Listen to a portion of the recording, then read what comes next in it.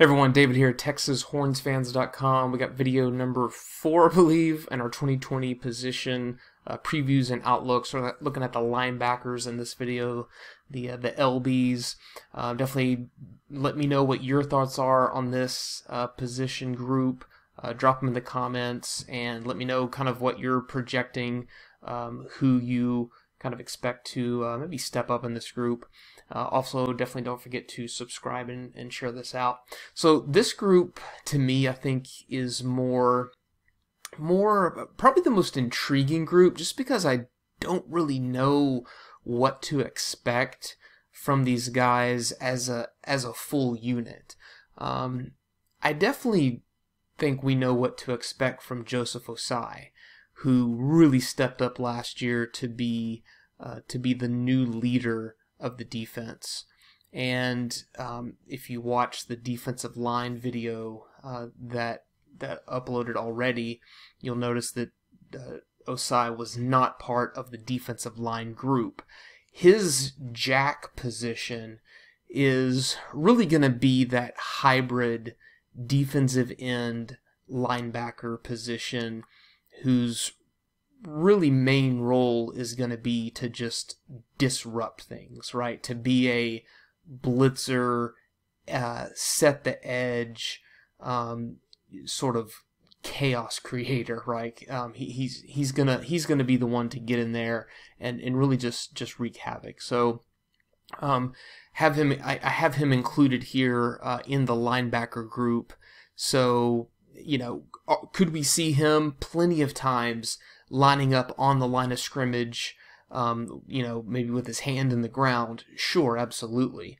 Um, we're also going to see him uh, line up off the line of scrimmage, you know. Uh, so he's kind of that wild card type of type of position, but you know, obviously is the key to this defense, and is and, and obviously is is the uh, is the leader for this group. So you know, I, I, think that's what we can expect uh, from him. Looking back at some stats from last year, um, he totaled 90 tackles, 13 and a half sack, 13 and a half tackles for loss, and five sacks. Really, really was just an absolute beast uh, in the bowl game against Utah. Uh, nine total tackles, six tackles for loss, and three sacks.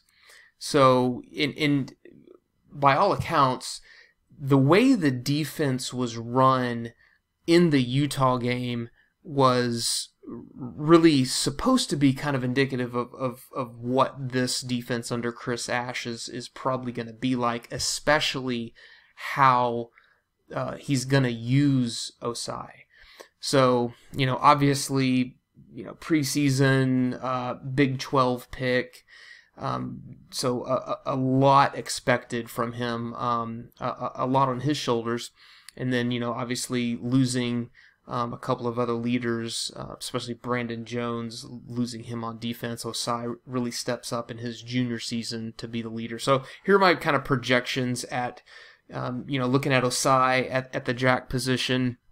Middle linebacker, I've got Juwan Mitchell um, kind of stepping up there to be the main you know starter uh, uh, player for at middle linebacker, and then uh, De- DeMarvion Overshown moving from a defensive back role to uh, one of the other uh, outside linebacker uh, roles. So, you know, looking at Mitchell, I think what he showed last year as a transfer uh, to Texas, I think he showed how he can be more of an attacker and more of a of a run stopper. Hopefully, what we see from the defensive line, um, you know, with the big bodies like Keondre Coburn right there in the middle and Ta'Quon Graham, is these guys allowing Juwan Mitchell to have a lot more one-on-one battles with running backs, so that he's not being swallowed up uh, by by an offensive lineman. So I think where Ju- Juwan Mitchell's strengths lie is in his ability to attack downhill, get into the backfield, disrupt things. I think we saw him uh, struggle at times in recognizing passes and kind of getting out of place in sort of that middle of the field uh, pass rush. So hopefully that improves. And then I also think um, we, could we could see some of um, uh, uh, filling into in that in that middle position. Uh, we saw him some last year. Uh, made made some good plays last year. Just you know, somewhat inconsistent as a freshman, so he'll be a sophomore. And then uh, Juwan Mitchell, obviously a, a junior, and uh, you, know, Mitchell kind of having some off-field, you know, issues with potentially transferring, deciding to stay. So you know we'll we'll kind of see how that plays out over over the course of the season, and then uh, Overshown you know, obviously coming in as more of a more of a speed athletic type of linebacker, which in this conference, that's what we're seeing. That's what you need in the Big 12. You need speed on, on defense. You know, the, the old school days of the bigger linebackers, the more physical guys, um, those type of linebackers are, are, are kind of going away. And I, I think Overshown moving from a defensive back role where he was a big defensive back anyway.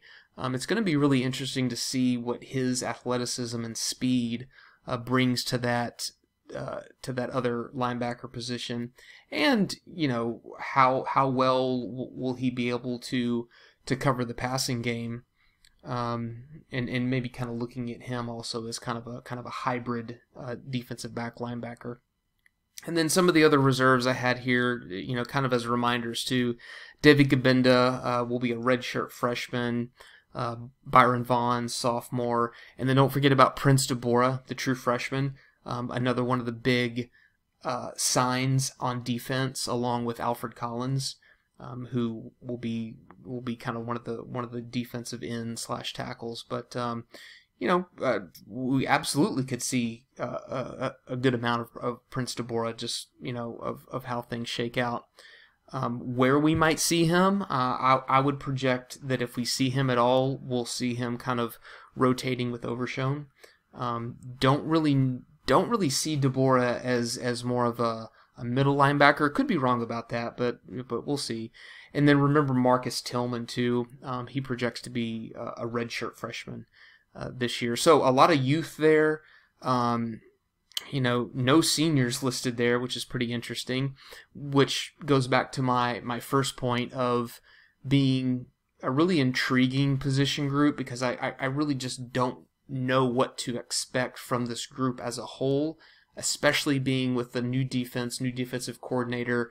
Um, but of of the entire defense, I think if we had to pick one guy that we that we do know what to expect from, it's it's Ossai. So from an individual standpoint, yes, but from a group standpoint, um, I, I, I, really think the linebacker group is is kind of up in the air. So those are my thoughts, guys. Uh, drop yours below. Let me know your projected starters, and also who do you see kind of uh, kind of rotating uh, in and out with this group. How do you see Chris Ash using this group? What do you expect from Ossai? And uh, don't forget to subscribe check out our next video. We're trying to do about two a week. We're going to go position by position. Um, the next video, we're going to go back to the offense and look at uh, quarterbacks. So don't forget to share it out. Check us out on Facebook, uh, on our Facebook page. Uh, we have over 57,000 Longhorns fans on the page. Link in the description, and then on the website, texashornsfans.com. See you later.